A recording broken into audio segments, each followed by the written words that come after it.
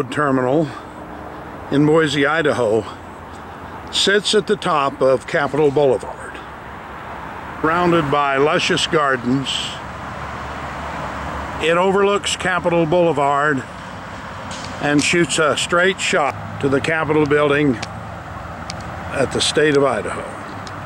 It's a great place to live and was a great place to grow up.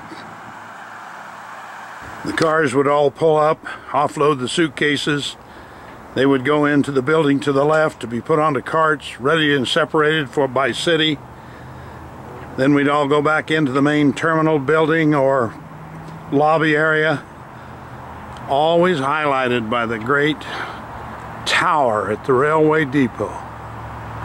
Grandpa would step off that train, drop to the loading platform as it rolled to a stop, and come looking for his grandkids who'd come to meet him. 65 years has come and gone, and it seems like only yesterday I was standing here with Grandpa.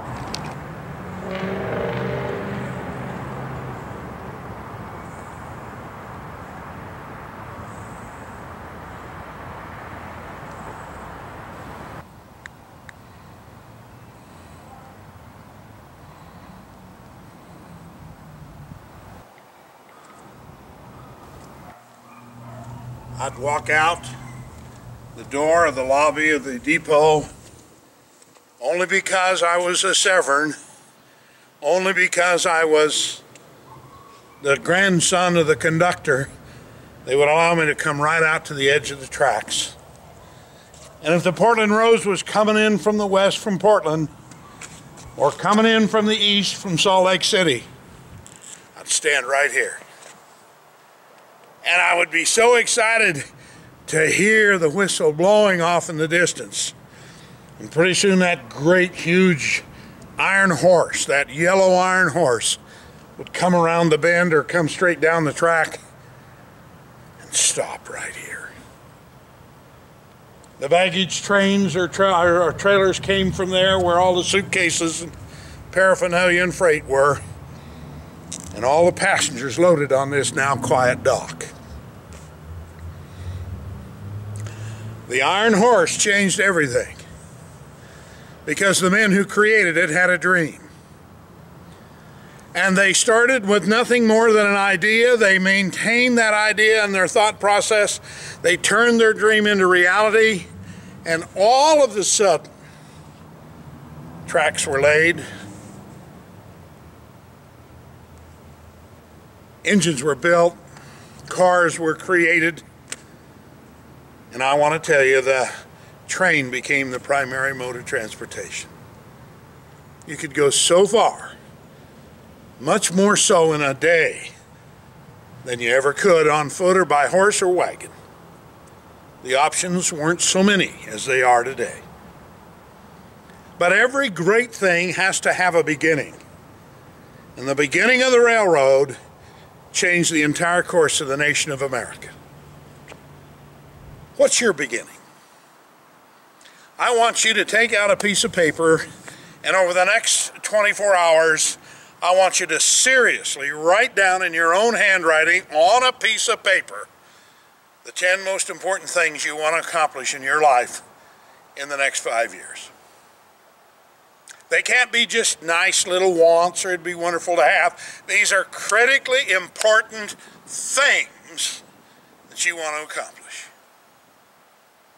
And then I want you to get a picture of those things, those dreams, and cut it out and put it up where you have to look at it every day. Let it be one of the last things you look at at night and the first thing you look at in the morning. And that's the same thing as boarding a train that hasn't left the station. Because once your train begins to move, your journey is started. And it all begins with a dream. Then you will learn to manifest that dream into a vision. The vision will discipline your flesh. You can stay steady at the work required to accomplish your vision, and that in turn will achieve the dreams and goals you've set for yourself from the very beginning. It's all a process. I can see my grandpa at the end of the train with his arm signal to the engineer way up at the front, a lantern held in his hand, and a vertical up and down movement signaled that the train was ready to leave. Now, once that train left, it never stopped and backed up. And if you missed it when it left, you either ran to catch it or you watched it go off without you. You had to wait again for another train. Don't let your dreams leave you in the dust. You can succeed, but you have to do what those who have succeeded before you have done, and that is to consistently and persistently pursue, passionately pursue that dream until it's completed and you own it. I'm excited for your future. All aboard! Let's go somewhere together. Peace and love to all of you. Papa Bear.